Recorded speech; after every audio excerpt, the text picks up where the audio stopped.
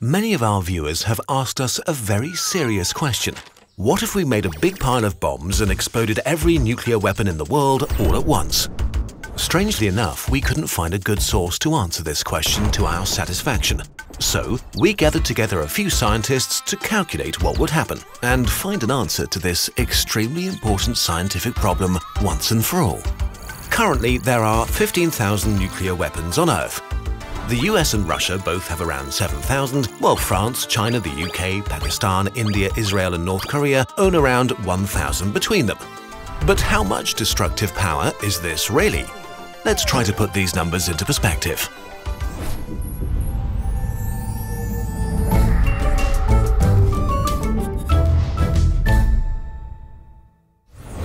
On Earth, there are about 4,500 cities or urban areas with at least 100,000 inhabitants. Some are bigger than others, so we'll assume that on average we need three nuclear bombs to completely wipe out one city. This means we could destroy every single city on planet Earth with our nuclear arsenal, killing more than 3 billion people, roughly half of humanity, in an instant. And we'd still have 1,500 nuclear weapons left. Now that's what an expert would call overkill. So we can say with confidence that we have a lot of nuclear weapons and they can do a lot of damage. But what if we make a huge pile of all 15,000 bombs and pull the trigger? Let's drop our nuclear pile in the middle of the Amazon rainforest, just to show nature who's boss. Our warheads, piled haphazardly, fit into a small warehouse.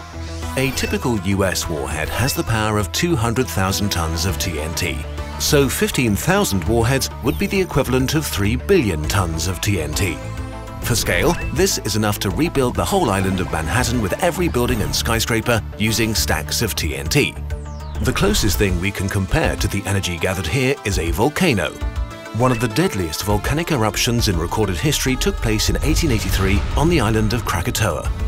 The eruption was so powerful that 70% of the island and the surrounding archipelago was destroyed, killing tens of thousands of people. Its effects were felt around the world for days after the event. Our nuclear pile contains 15 times the energy of the Krakatoa volcanic eruption. So let's finally push the button. Three, two, one. In a second, a fireball 50 kilometers across vaporizes everything in its way and creates a blast wave that flattens 3,000 square kilometers of forest. Every living thing within 250 kilometers will start to burn. The explosion will be heard literally around the world as the pressure wave circles the Earth tens of times over the next few weeks. Millions of tons of incinerated material are catapulted into the atmosphere. The mushroom cloud reaches the outer reaches of the stratosphere, pushing up against space itself. After things have calmed down, a small crater, about 10 kilometers across, is left in the center of the worst wildfires the planet has seen in millennia, spreading throughout South America, burning down forests and cities alike. And now, the unpleasant part begins. Extremely radioactive material will kill living things very quickly, and a large area several kilometers around the crater is now uninhabitable, as is everywhere for hundreds of kilometers downwind. Much of the fallout is carried high into the atmosphere by the mushroom cloud and carried around the planet. The amount of radioactive material in the environment doubles worldwide, which still isn't civilization ending, but we may see more cancer for a while. A portion of the particles will float at the edge of space for years and cause a nuclear winter that could lower global temperatures by a few degrees for a few years. This explosion was pretty bad if you're in South America and especially Brazil. The Amazon rainforest is pretty much history, which is not great, but human life will go on. Okay, but what if we explode more nuclear weapons? Let's suppose humanity decided to mine every bit of uranium on Earth and build as many nuclear bombs as possible. At current usage, it's estimated that there are around 35 million tons of uranium in Earth's crust, enough to power human civilization for over 2,000 years, or to build millions of nuclear warheads. For the sake of argument, let's say we create a pile with a yield of 10 billion Hiroshima bombs, which makes up a cube 3 kilometers high that contains roughly the energy of the asteroid impact that ended the age of the dinosaurs 65 million years ago. Except it's also nuclear. 3 two, one. Our pile explodes in a fireball stretching so high into the sky that it's visible from half of South America, with so much power that the ground just splashes like water, forming a crater 100 kilometers across. Bedrock on the scale of whole mountain ranges is vaporized in an instant, while thousands of tons of material is catapulted away with such speed that it's ejected into space. Some leaves Earth forever, while most of it comes raining down as hot, burning debris that heats up the atmosphere to oven-like temperatures, killing most big animals and causing firestorms all over the world.